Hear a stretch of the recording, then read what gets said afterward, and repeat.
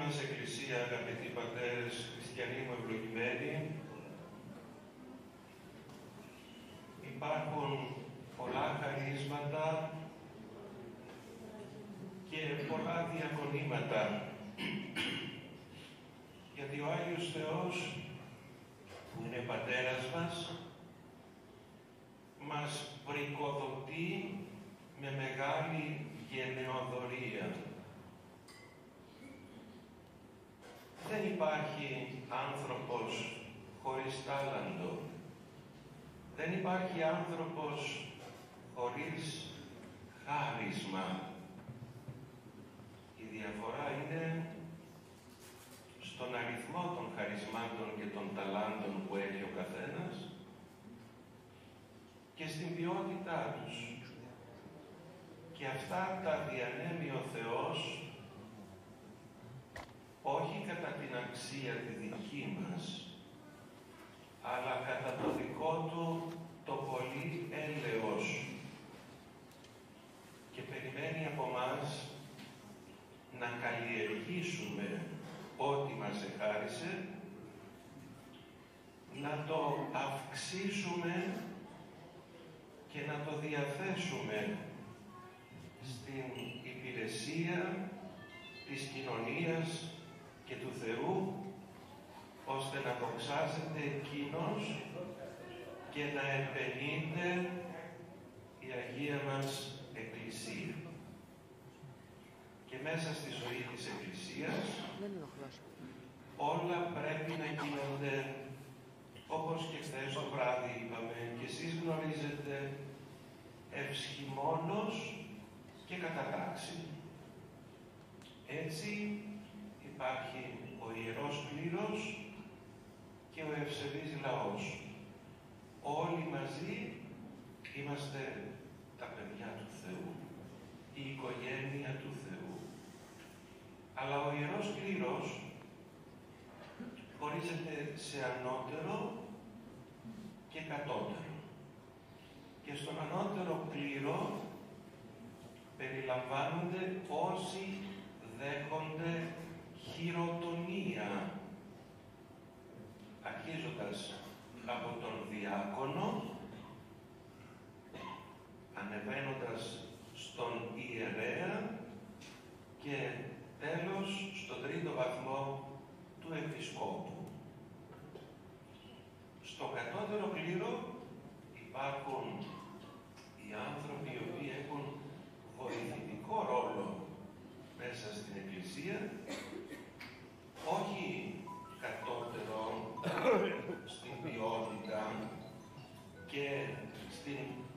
αξία και στον σεβασμό που πρέπει να έχουμε, αλλά είναι διαφορετικό το χάρισμα. Αυτοί δεν μπορούν να ιερουργούν, αλλά μπορούν όμως να ψάλουν. Οι ψάλτες λοιπόν, οι αναγνώστες, αυτοί που διαβάζουν στην Εκκλησία τους ψαλμούς και τα υπόλοιπα αναγνώσματα, οι πινωροί και άλλοι ανήκουν σε αυτόν τον κατώτερο κλήρο. Γιατί σας τα λέγω σήμερα αυτά; Σήμερα γιορτάζουμε τον Άγιο Ριγίνο, τον Ιερομάρτυρα, ο οποίος ήταν στον ανώτερο κλήρο. Πέρασε και τις τρεις βαθμίδες.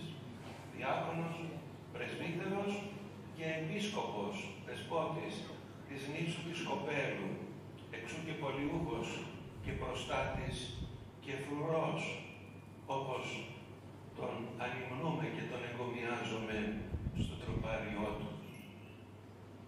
Αυτήν όμως τη μέρα έχουμε μπροστά μας ένα νέο παλικάρι, τον αγαπητό μας Παναγιώτη, που θα τον είδατε και χθες το βράδυ να συμψάλει μαζί με τον πρωτοψάλτη, τον αγαπητό μας Ιωάννη, αλλά και σήμερα ομοίως. Ο Παναγιώτης είναι Παπαδοπέδη, είναι Υιός του Πατρός Ευαγγέλου, ο οποίος εφημερεύει στη Φανερωμένη, εδώ στο νησί σας, και της κυρίας Χαρούλας, της Πρεσβυτέρας. Και εξεδήλωσε από πολύ μικρός την επιθυμία να έρθει στην Εκκλησία και να έχει ενεργό ρόλο. Δηλαδή, αγαπάει την ιεροσύνη και ευχόμαστε ο καλός Θεός να τον φωτίσει, να τον διαφυλάξει και να τον βοηθήσει ώστε όπως έγινε και με όλους εμάς που περιστοιχίζουμε την Αγία Τράπεζα να εκπληρώσει τα ιερά του όνειρα.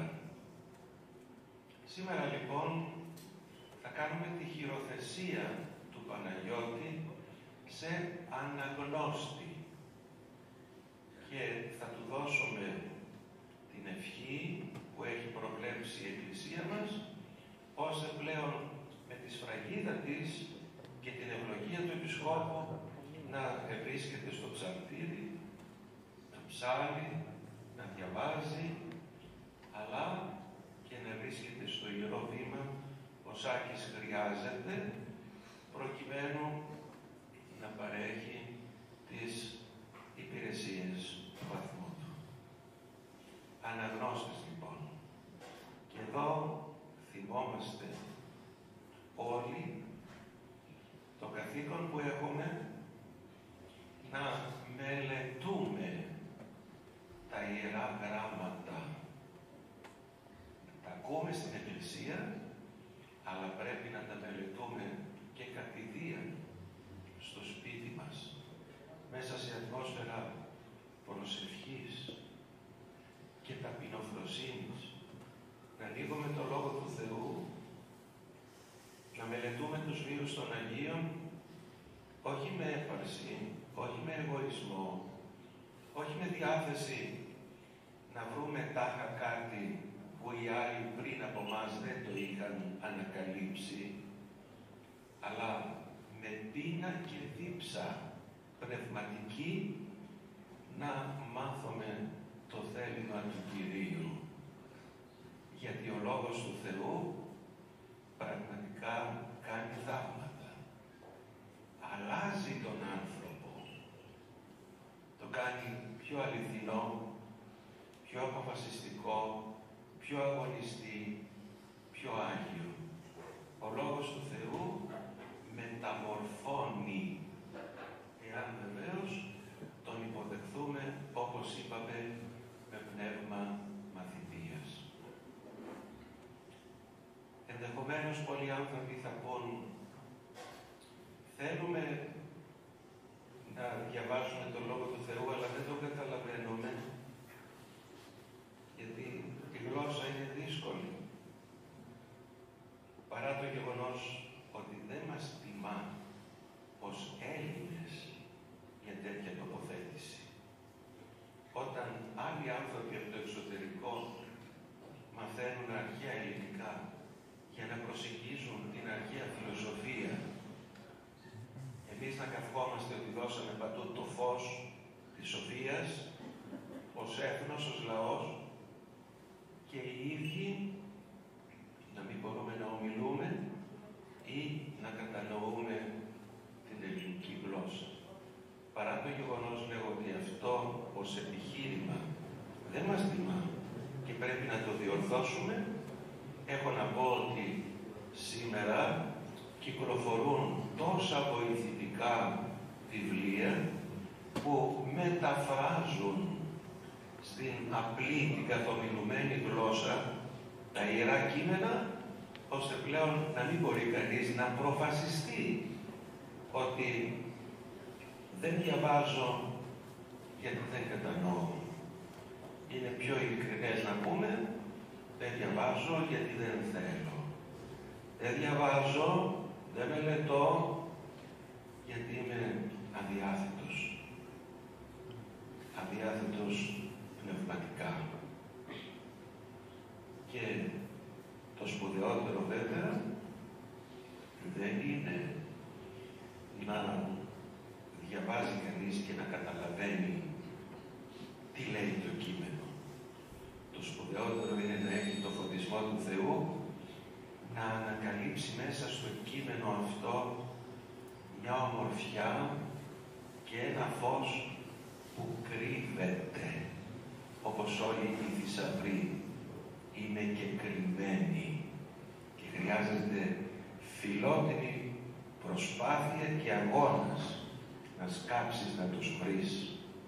Και εδώ χρειάζεται πνεύμα ταπεινό και προσευχή να ζητάμε από το Θεό φώτιση ώστε να μπορούμε να ανακαλύπτουμε και να κατανοούμε αυτό που πριν από μας και για μας έχει ανακαλύψει η Εκκλησία δια των Αγίων Πατέρων της και που ο Μέγας Αθανάσιος το ονομάζει απόθετον κάλος, δηλαδή μια ομορφιά κρυμμένη. Ένα άλλο επιχείρημα που συνήθως λέμε για να δικαιολογήσουμε την απροθυμία μας είναι ότι δεν έχουμε χρόνο. Έχουμε τόσες πολλές φροντίδες, τόσο πολύ φορτωμένο πρόγραμμα, πού να βρεις ώρα να κάνεις προσευχή, να διαβάσεις, να δεις ένα βίο Αγίου. Δεν έχω χρόνο και αυτό σαν επιχείρημα δεν στέκει.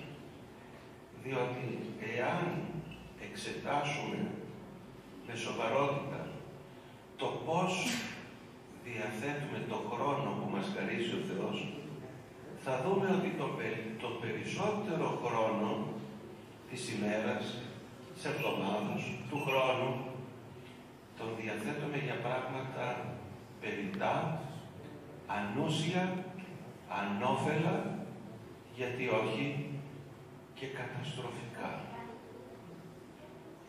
Μόνο για το καλό δεν είμαστε πρόθυμοι και γι' αυτό χρειάζεται να επανέλθουμε.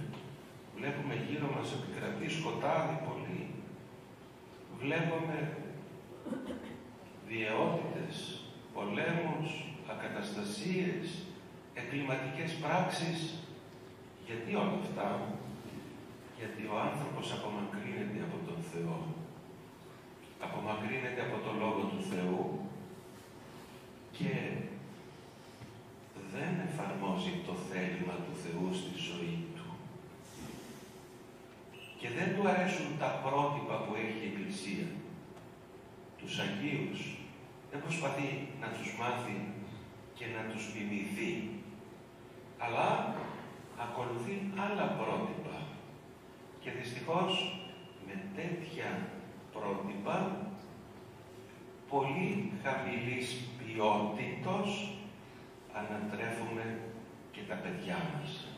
Και έτσι σήμερα βλέπουμε να συνασπίζονται και να έχουμε εγκληματικές συμμορίες νέων ανθρώπων και εφήβων οι οποίοι δεν διστάζουν να περιφρονήσουν και να βασανίσουν έναν ηλικιωμένο για να του πάρουν λίγα χρήματα, να χτυπήσουν ένα συμμαθητή τους ή να τον εκφοβίζουν διαρκώς και να του κάνουν τη ζωή του κόλαση για να αισθανθούν εκείνοι ισχυροί γιατί άρρωστα πρότυπα τους έχουμε δώσει των παιδιών μας.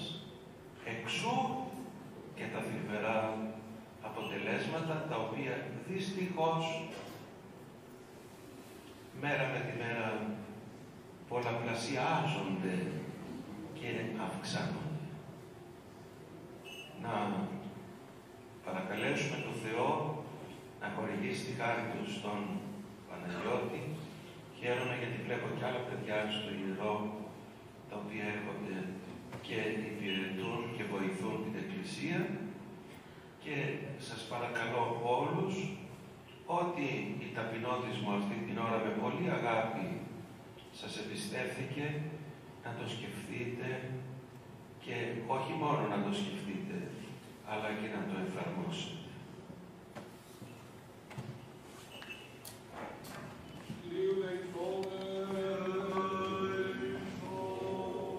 Κύριε ο Θεός ο Παντοκράτορ, έφτιαξε τον γνώσο τούτον τον Παναγιώτη και αγίασον αυτόν και δώσε αυτό με τα πάσης σοφίας και συνέσεως των θείων σου λογίων την μελέτη και την ανάγνωση ποιήστε, διαφυλάτων αυτών εναμέμπτω πολιτεία. Ελέη και εκτιμής και φιλανθρωπία του μονογενού σου Υιού, μεθού ευλογητώσει, συν το Παναγίο και αγαθό και